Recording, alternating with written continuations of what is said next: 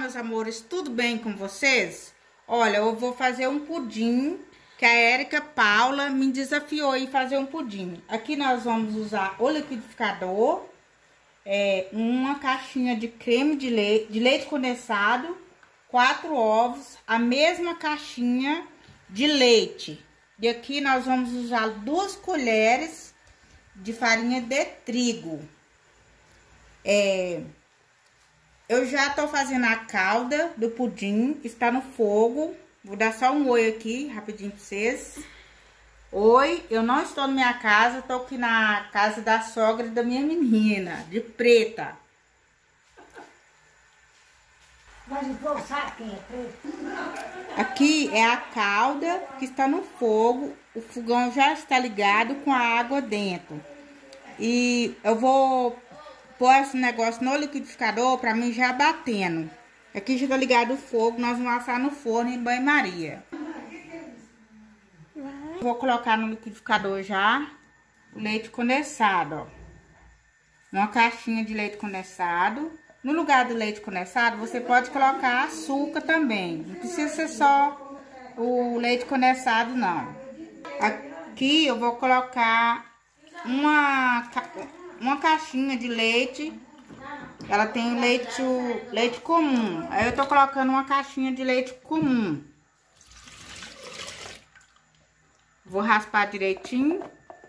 Eu já vou colocar aqui dentro. Aqui tem quatro ovos, vou colocar aqui e vou bater.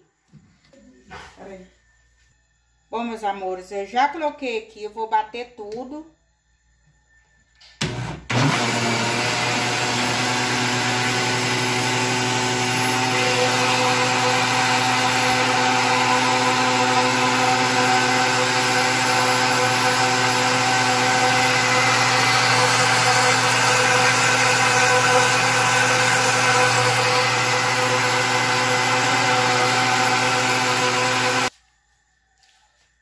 Bom, meus amores, a nossa calda ficou assim, ó.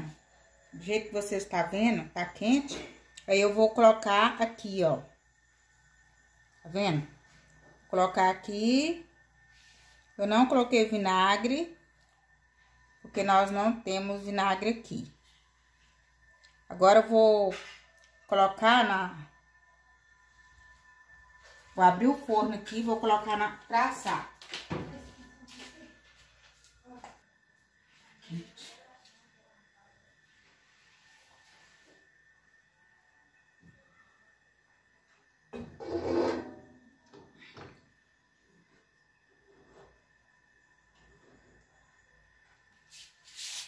Quando tiver pronto, eu volto com vocês. Bom, Érica, tá aqui o desafio. Seu pudim está prontinho. Espero que você goste do pudim, tá? Ficou uma delícia. Pudim delicioso. Se vocês gostaram, gente, compartilhe, se inscreva no canal, deixe seu like. A Érica Paula aí que me desafiou a fazer esse pudim. Olha, ficou muito bonito. E eu amei esse pudim. Então, um beijo no coração de todos. Espero, Érica, ter cumprido seu desafio aí. Fique com Deus. Até o próximo vídeo. Jesus abençoe. Beijo. Tchau, tchau.